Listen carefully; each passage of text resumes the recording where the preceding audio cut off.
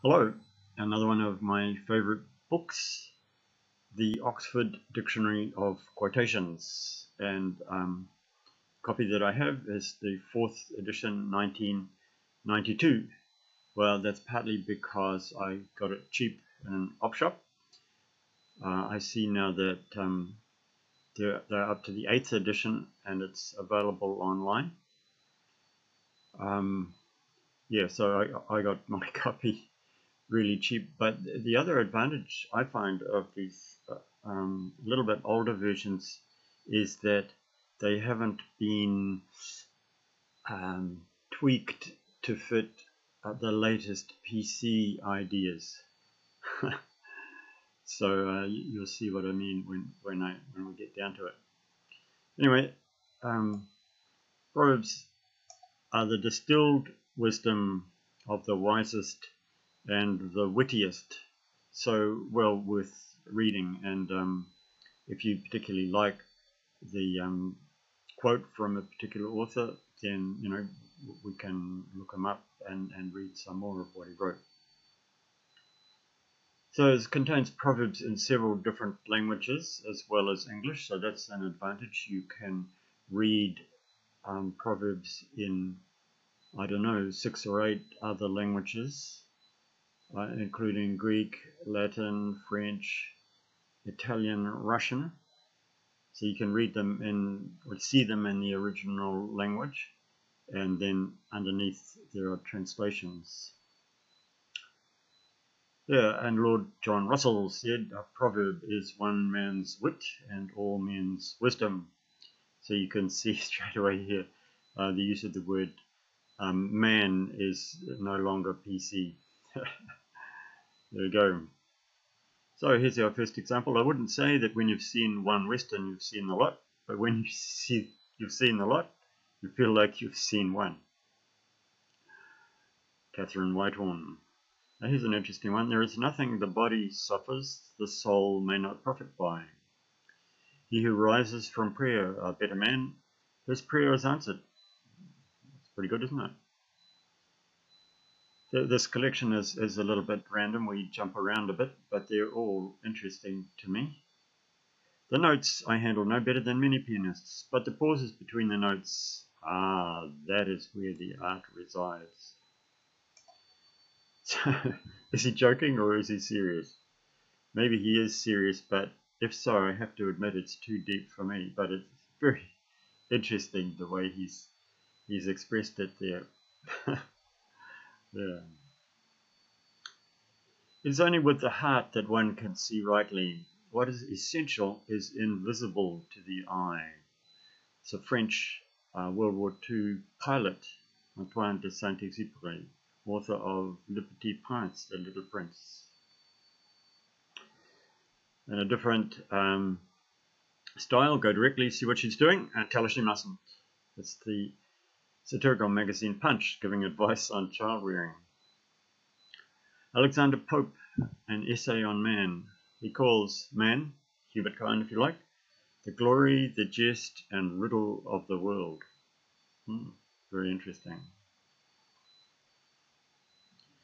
Here's one from Max Planck, German physicist. A new scientific truth does not triumph by convincing its opponents and making them see the light but rather because its opponents eventually die and a new generation grows up familiar with it.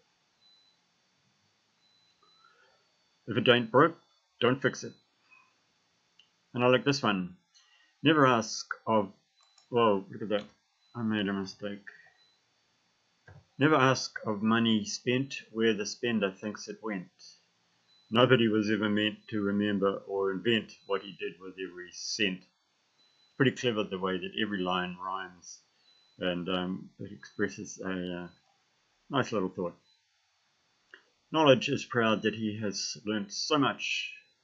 Wisdom is humble that he knows no more.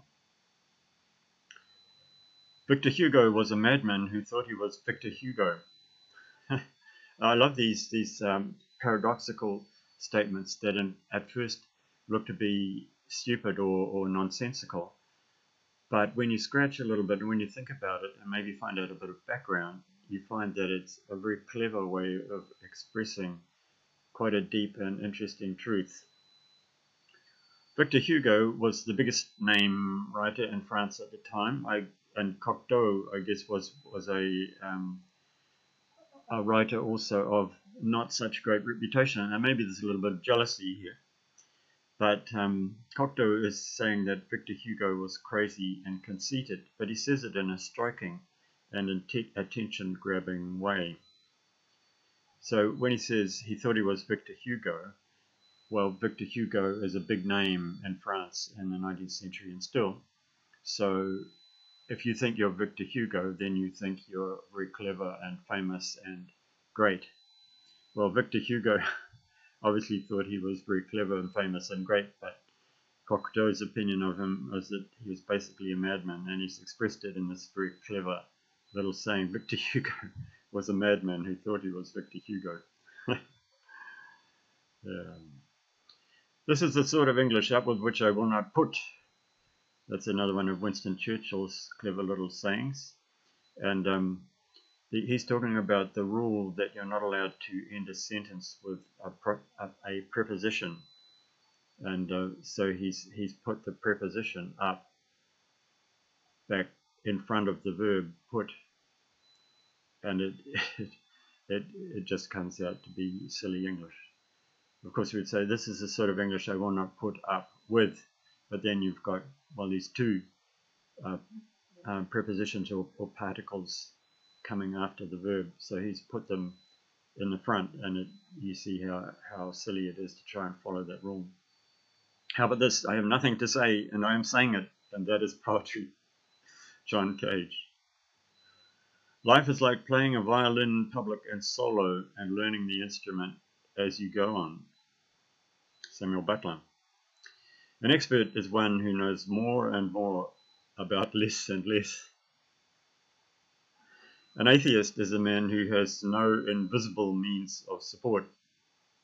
And so that's a play on, on the, uh, the phrase we say, a visible means of support. He has no visible means of support if uh, a person is, is living, but we don't know how he's earning a living, so we say he has no visible means of support. And um, so an atheist is a man who has no invisible means of support. This crammed with heaven and every common bush afire with God. It's a reference to um, Moses seeing God in the burning bush. But Elizabeth Barrett Browning, a 19th century English poet, says um, you can see God everywhere. Here's another physicist, a contemporary of um, Max Planck, who we just had a quote from. One of the favorite maxims of my father was the distinction between two sorts of truths profound truth, recognized by the fact that the opposite is also a profound truth. So here's we are looking again at paradoxes in contrast to trivialities where the opposites are obviously absurd. William Blake, um, 18th century English mystical poet, he who binds himself to a joy does the winged life destroy, but he who kisses the joy as it flies lifts in eternity's sunrise. So isn't it a thing about life how something makes you really happy but it's gone and we try to recapture it but we can't recapture it.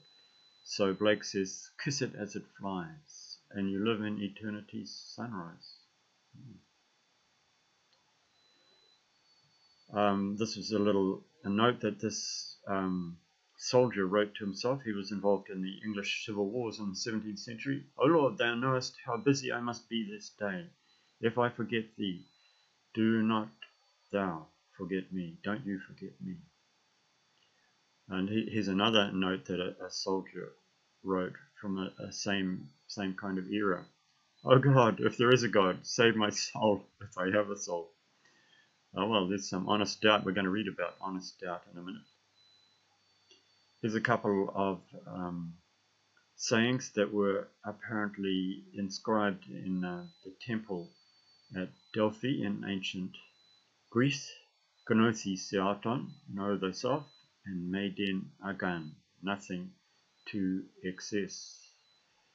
Wise words that um, are still worth considering all those centuries and millennia later. I don't want to achieve immortality through my work. I want to achieve it by not dying. After being turned down by numerous publishers, he decided to write for posterity.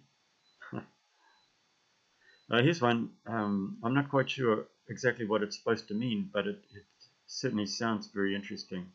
Life, like a dome of many-colored glass, stains the white radiance of eternity. That's lines taken from the middle of a poem by the, uh, what's, I suppose, 18th, 19th century uh, English poet Shelley. We're thinking about. Education is what survives when what was learned has been forgotten. Laws are like cobwebs which may catch small flies, but let wasps and hornets break through. Very true. Here's another scientist. Discovery consists of seeing what everybody else has seen and thinking what nobody else has thought.